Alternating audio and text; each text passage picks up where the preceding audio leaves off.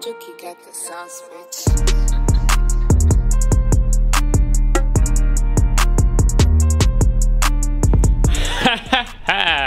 if you guys can count, you'll realize that there are four Miatas in the shop. There's my blue Miata, Molly, the turbo one. There's the Rally Miata. There's Pasha's go-kart Miata, and another one.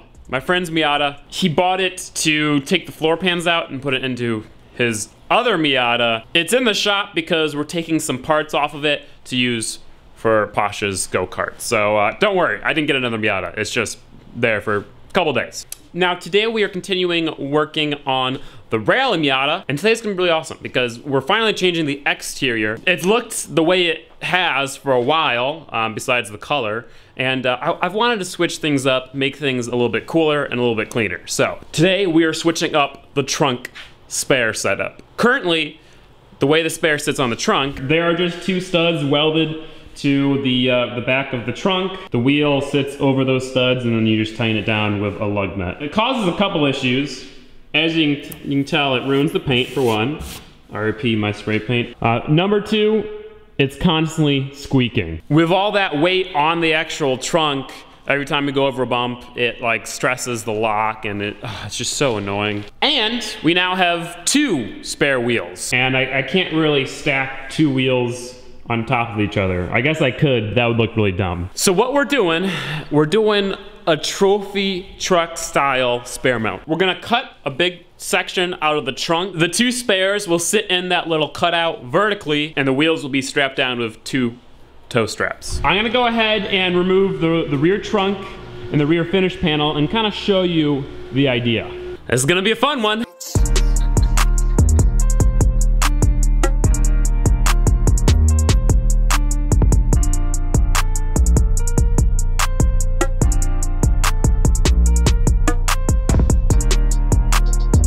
So this is pretty cool, but obviously it looks dumb because they sit so freaking hot. Uh, the problem is that the trunk isn't big enough for the spares to actually sit inside the trunk. So you cut out this section, then the wheels can sit into this little divot in the trunk. So yeah, that's the basic idea.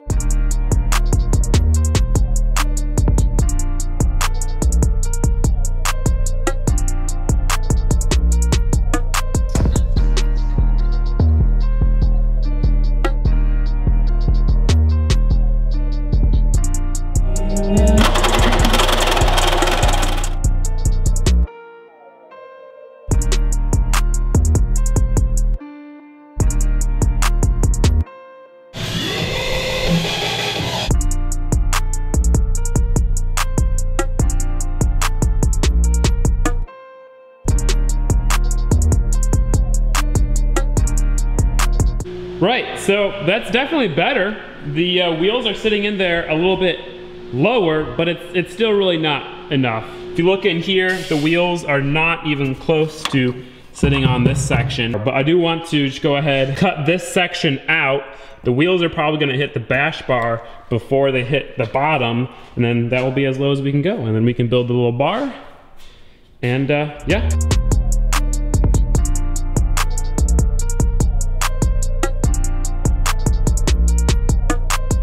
Uh, well, it's looking great. I'm gonna go pick up the metal I ordered. Now, I have to drive this car 45 minutes to go pick up the metal, so I had to improvise. Right, so I got some metal. I'm gonna start by cutting the bumper, or cutting the trunk and the uh, finish panel.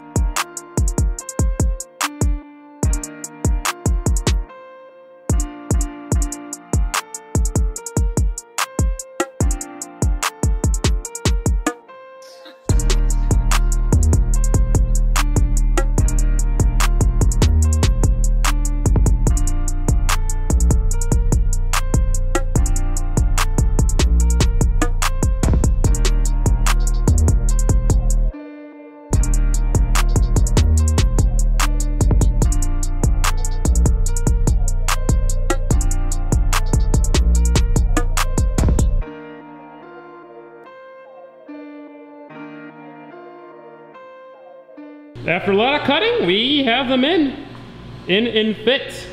It's pretty good, it's pretty tight.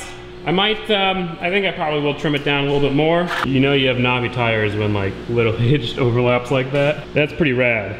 A little crooked right now, but that is pretty rad. So we're gonna take one of these bars, bend it so it comes off the bash bar, up, across, and then back down. On the bash bar, we'll have a third brake light, and then we will zip tie the um, license plate, kind of like so.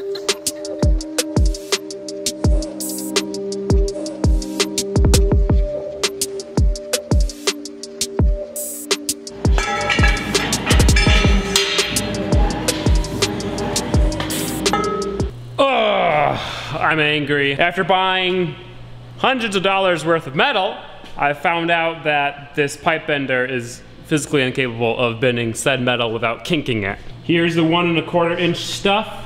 As you can tell, huge kink. Even worse on this side. It does one inch, pretty good. Point is that I cannot bend a pipe with this pipe bender. Never, never buy the hat, or fuck. I almost said the Haggard Garage. Never buy the Harbor Freight pipe bender.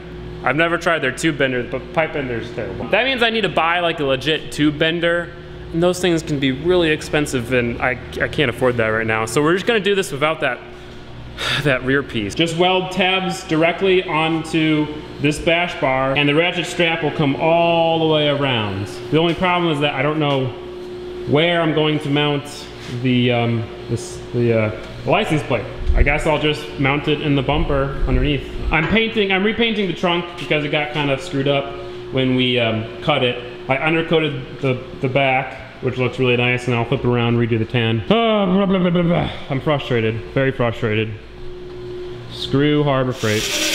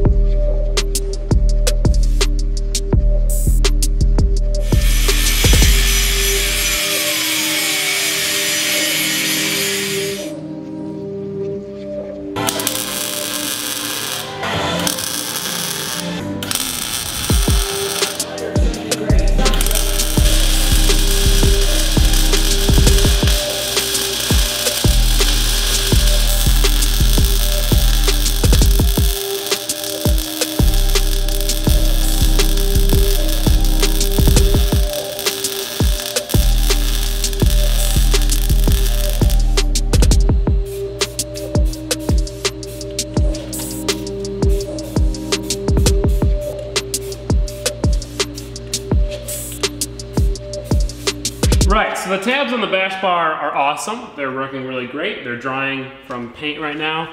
I went ahead and made this. This is gonna be where the other side of the ratchet strap um, bolts to. This will sit inside the trunk, be welded onto that. I was gonna put this up here, but then I realized A, it's kind of ugly up there, and B, then I'd have to paint it and like rivet it in, and that wouldn't be very safe, so welding it in down there, boom, let's go.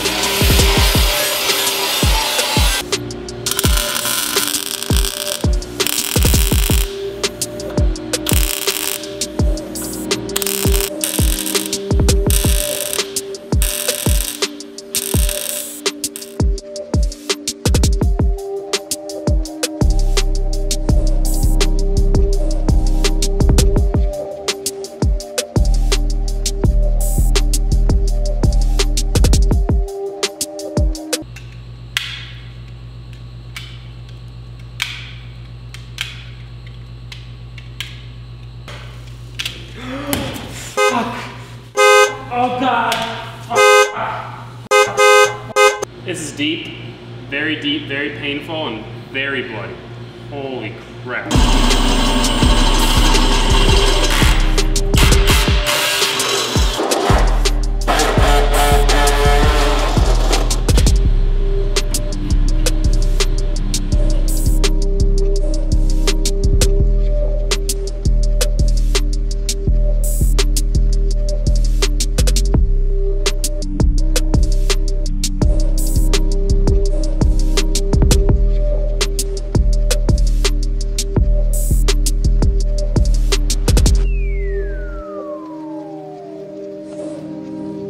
I think this makes me like the stock bumper less. The side profile is where it looks really sick.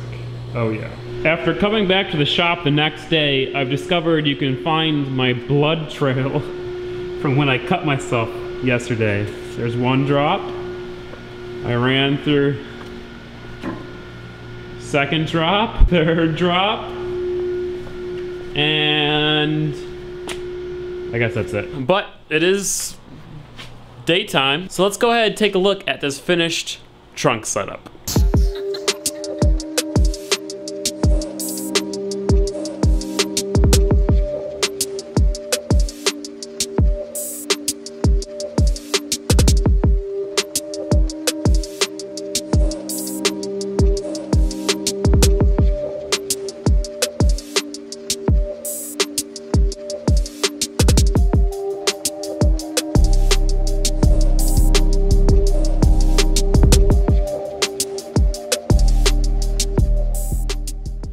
Really quiet and really peaceful in this park. I really like it.